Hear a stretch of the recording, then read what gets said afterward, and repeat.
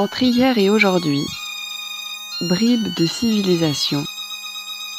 Une chronique de Daniel Carré. Chronique numéro 18. Débat, bonjour. Je vous propose aujourd'hui d'évoquer Mardi Gras. Meurlard, comme on dit en breton. Mot à le mardi des gras, qui a donné malardé au meurlarger, un terme attesté dans le Catholicon, ce dictionnaire trilingue, breton, latin, français, édité pour la première fois en 1499. Les synonymes donnés dans ce même Catholicon sont d'ailleurs intéressants. En français, carême prenons, ça ne dit pas grand-chose, mais en latin, c'est bien plus clair.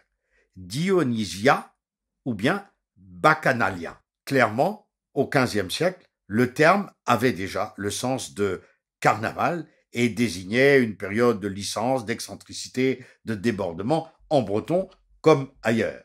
Nous ne parlerons pas des carnavals des villes. Je pense par exemple au gras de Douarnenez ou bien au gras de Lannion. Nous n'évoquerons pas davantage ce qu'il est convenu d'appeler les mi-carèmes, qui sont nés durant la première moitié du XXe siècle dans certaines villes, hein, grandes comme Nantes par exemple, ou nettement plus petites comme Locminé. Disons cependant que certaines de ces mi-carèmes ont parfois pris la place de traditions plus populaires, plus spontanées, moins encadrées, qui, elles, préexistaient. Certaines en conservaient encore des aspects, on peut ainsi citer le cas d'Auray, où la tradition du boulhomme malardé, du boulhomme plus, autrement dit du bonhomme de paille, est restée vivante jusqu'à la veille de la Seconde Guerre mondiale. Ce bonhomme carnaval était jugé en un procès public au cœur de la ville. C'était en fait un exutoire destiné à représenter, par exemple, divers personnages locaux à qui on pouvait en cette occasion dire ce que l'on avait sur le cœur il était évidemment condamné à mort et porté ensuite le soir du Mardi Gras, escorté par la foule des jeunes et moins jeunes, plus ou moins déguisés, riant, chahutant, se lamentant à la fois, jusqu'à Saint-Goustan. Et parvenu au pont, on y mettait le feu avant de le précipiter dans la rivière. Mardi Gras est mort, euh, mais il bouge encore, euh, etc. La même chose est attestée à Gavre où on lui chantait aussi en guise d'adieu. Bouton malardé indoire, betek kove wendiware. Bouton ton don don, betek poule galon. Enfonçons malardé en terre jusqu'au mollet, enfonçons le profond, profond jusqu'au fond de l'estomac. Alors, bon, ça peut sembler paradoxal de parler d'enterrer quand on brûle et qu'on noie. Mais bon, euh, c'est ainsi. Et d'ailleurs, d'ailleurs, ce n'est pas si étrange que cela, finalement. À Etel existait la même tradition du bonhomme de paille qui finissait lui aussi brûlé et jeté dans le port. Mais auparavant, on l'avait promené durant la journée à travers les rues en compagnie d'une autre figure nommée Gargantua ou Gargantual, on ne sait pas trop, un personnage dont il nous faudra reparler un jour ou l'autre. C'était une énorme tête, ou plutôt un énorme masque, avec une bouche largement ouverte dans laquelle les gens, depuis le bord de la rue, le seuil ou les fenêtres des maisons, jetaient des pains qui atterrissaient dans un filet qui les recueillait derrière le masque.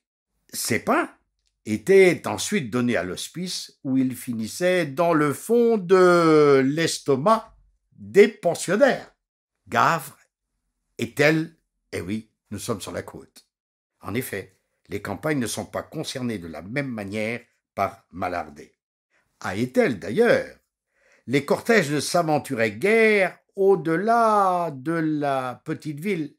Sur le territoire d'Erdeven ou de Bels, on n'allait pas. C'était le domaine des paysans, pas celui de la côte.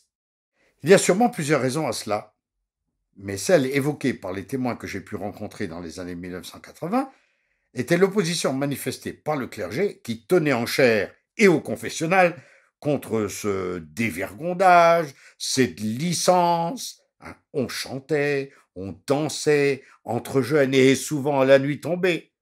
Et le clergé avait davantage d'influence dans les campagnes que dans les villes et sur la côte. Il y a aussi certainement le poids des structures sociales. Les paysans sont rarement leurs propres maîtres. Beaucoup sont métayers, fermiers, enfin, redevables d'une manière ou d'une autre d'une classe plus bourgeoise ou d'une classe de petits nobles locaux qui, nous allons le voir, ne sont pas prêts à favoriser ces manifestations trop populaires, trop peu encadrées à leur goût. Cela ne veut cependant pas dire, pour autant, que Mardi Gras passe complètement inaperçu dans les campagnes. D'abord, et jusque dans les années 1930, c'est la fin de la grande période des mariages, nous l'avons dit dans le cadre de cette chronique. Malardé, malardé, tout d'un du dezimé, ribo sagritante, et du, comme l'on dit à. Carnaval, carnaval, tout le monde se marie, les bossus et les tordus, les boiteux des deux jambes. Il faut aussi se préparer au carême qui s'ouvre le mercredi décembre, marquera Ludu, une période de quarante jours marquée par des restrictions alimentaires. Alors, eh ben, on se dessert la ceinture, on en profite avant. On fait, par exemple, de grandes omelettes pour que les œufs non vendus n'aillent pas à perte. Enfin, enfin, enfin. Prétexte, car voilà bien longtemps que la consommation des œufs est autorisée durant le carême, mais c'est vrai, elle fut limitée autrefois. Là encore, les dictons nous donnent une image des bonbons de Malardé. Malardé, Malardé, me bombé. Carnaval, carnaval, j'aimerais que ça dure toute l'année.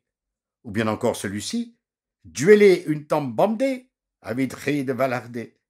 Mieux vaut un peu chaque jour de l'année que faire ventrer à carnaval.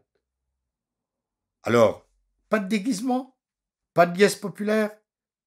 Non, pas trop vite. Nous en dirons davantage la prochaine fois. D'ici là, Kenavo Imbert.